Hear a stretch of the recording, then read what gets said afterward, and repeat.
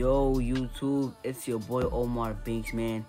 And the Lakers just keep getting stronger and stronger. Oh my God.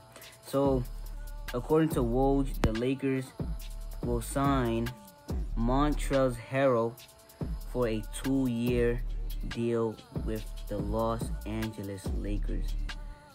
Damn, that's fucking crazy, man. Um, number one, LeBron is getting all the help he needs. I think they already got Wesley Matthews, Dennis Schroeder, now now a Montrezl Harrell, and then Anthony Davis, and then Caruso and LeBron. Oh my god, man. So this is crazy. Um, let me break down this signing. This is a great signing. I cannot lie. Um, the bad part is it's kind of cool what Montrezl Harrell did because he did came he did come from the Clippers.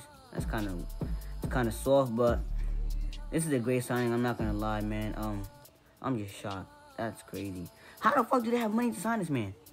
I don't know, but um, peace out, man. Make sure to subscribe and like and peace. Damn.